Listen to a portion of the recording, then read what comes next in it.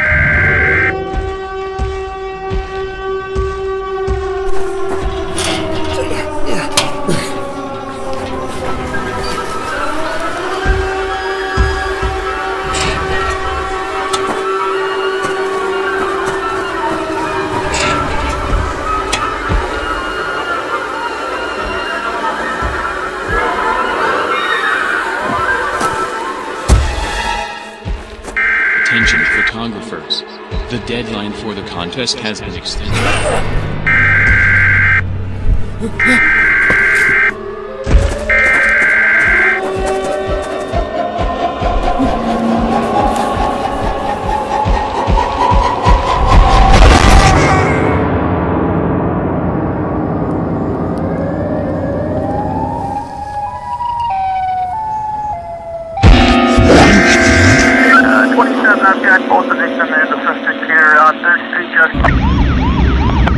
134 be advised, directly 27 is posted with the suspect and the victim.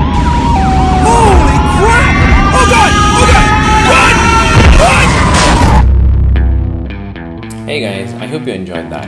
Making this short film was a lot of fun, and I'm gonna show you how we did it. The biggest VFX here was obviously creating the CG Siren Head. I used Blender for making the character.